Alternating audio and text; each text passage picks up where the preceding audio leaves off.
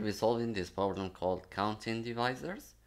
So we are given n integers and our task is to report for each integer the number of its divisors. For example, if x is equal to 18, the correct answer is 6 because its divisors are 1, 2, 3, 6, 9, and 18. So the first line of the input contains an integer n that can be as large as 10 to the fifth then follow uh, n integers that can be as large as a million. And for each integer, we have to output the number of divisors. So let's go to the drawing board and analyze this problem.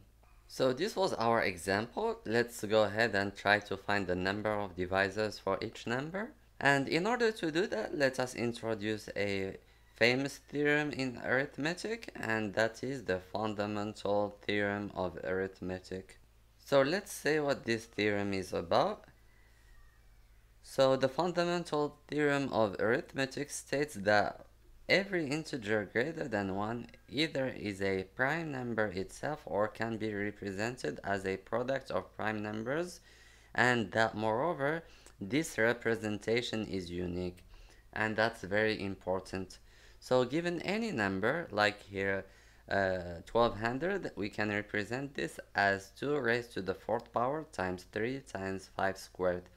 And if we order the prime factors uh, in increase on order this representation is unique. So let's go ahead and factor our numbers in this manner. So this will be equal to 2 raised to the fourth power. 17 is a prime number so it will be just equal to 17 and 18 is 2 times 9 so 2 times 3 raised to the second power. Great.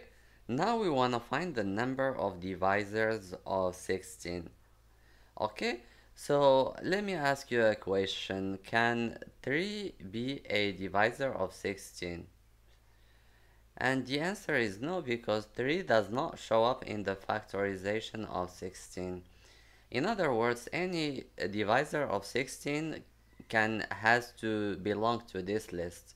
And since 2 is the only prime factor of 16 then any divisor I come up with can only contain 2 and the second question I would ask you can 2 raised to the 7th power for example be a divisor of 16 and the answer is again no because uh, 16 is equal to 2 to the 4th and thus the largest power a divisor of 16 can have is 4. So basically all divisors of 16 will be of the form 2 raised to some alpha and alpha is between 0 and 4 included. It can be equal to 0 and that's the case where uh, the divisor is equal to 1. 1 is indeed a divisor of 16 and it can be represented as 2 raised to the zeroth power and the maximum value alpha can take is 4.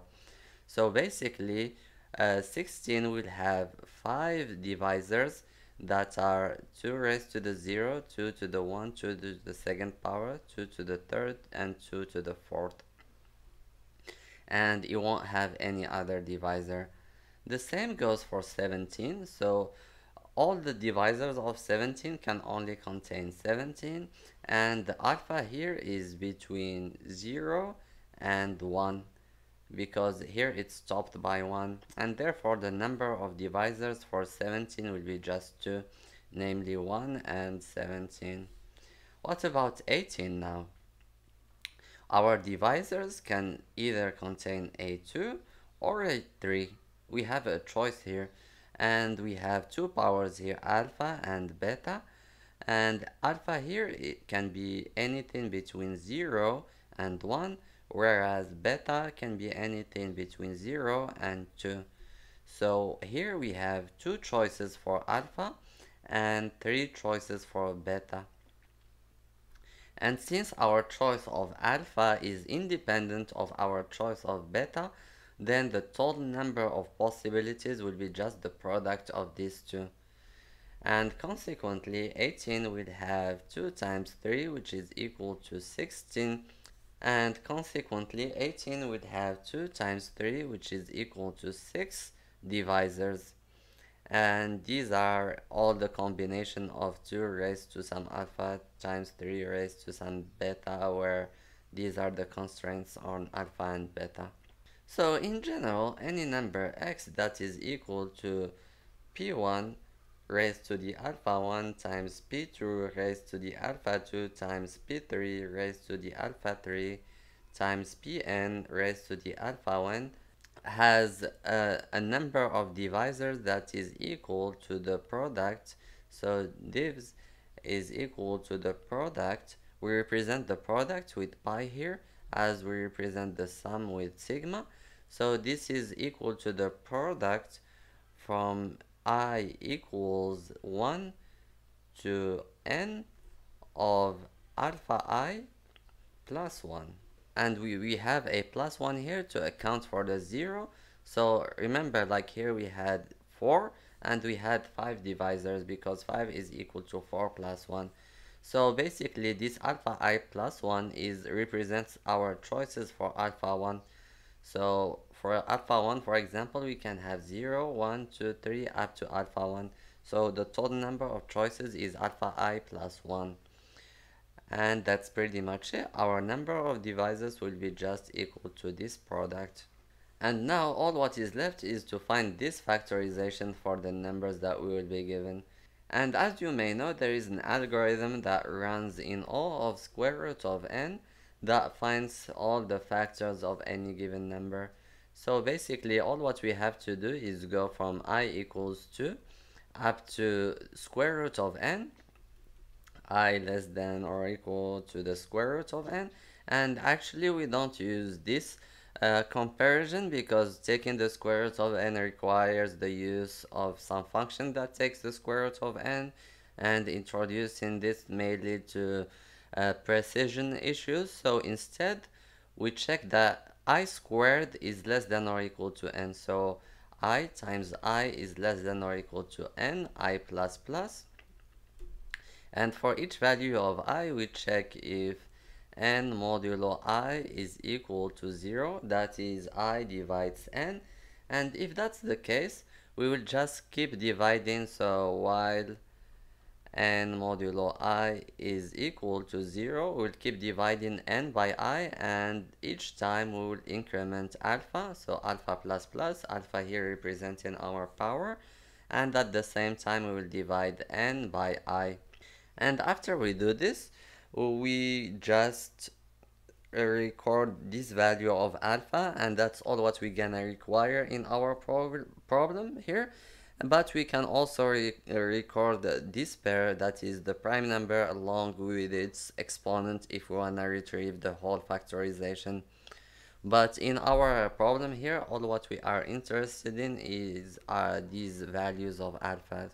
So we will require O of square root of n for finding this factorization and for this computation here for finding the product of the alphas in order to find our answer this won't require that much computation because the worst case is that our number here is composite that is it contains many prime numbers.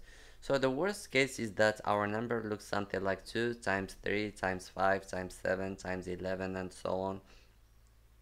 And since our number can be only as large as a million this can have at most a, a few prime factors so here if we add a few more we can see that having 10 or up to 20 is gonna go beyond 10 to the 6 pretty quickly. So here we're gonna perform at most 20 to 30 multiplications. So this won't account much for the for computing the complex for for our complexity. So our total complexity will be square root of n plus whatever this is. So let's say 30 plus uh, and all this times the number of queries we have here which can be up to 10 to the fifth. So our total complexity here will be 10 to the third times 10 to the fifth which is about 10 to the 8 and this is within our threshold so we are fine. Now let's check out our code. So this is our program. We'll start by reading the number of queries we'll have to answer and then we will process them and for each query we'll read our number. And for each number we will declare a vector of ints that will store the alphas that we mentioned. So it's gonna store the powers of prime factors. Then we're gonna factorize our number. So as we said we're gonna have a for loop that goes from 2 up to the square root of our number. And we'll check for this by checking that i square is less than or equal to our number and each time we're gonna check if the number is divisible by i. That is the number modulo i is equal to 0 and if that's the case we're gonna declare our power that we're gonna keep incrementing. And while the number is divisible by i we're gonna increment our power and divide the number by i. And at the end we'll just push this power into our vector. And when we are done we might have that the number is different from 1 so for example say that the number here is 17 17 is not divisible by any number that is uh, smaller than it or that is different than it because it is a prime number.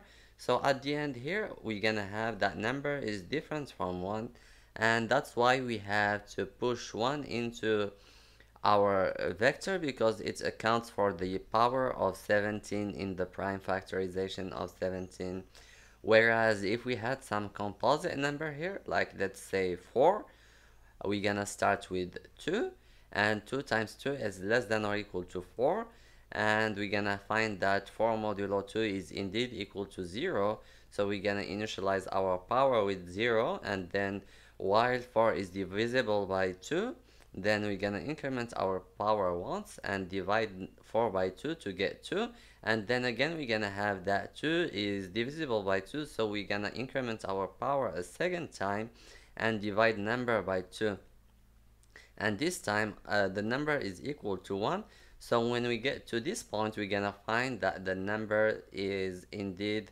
equal to 1 so we won't do anything so basically this is only applicable for numbers that are prime numbers or for for numbers that have a prime factor that is larger than its square root. And at this point we would have gotten all the powers of prime factors of our number and all what we have to do now is to compute the answer and I'm gonna call it the number of divisors and I gonna initialize it with 1 then I'm gonna loop through all the numbers in my powers of prime factors vector and I'm gonna multiply my answer by z plus 1 as we saw. And at the end I'll just print the answer. So that's pretty much it. Let's go ahead and submit. So that worked. Thank you very much for watching. See you in the next video. Bye bye.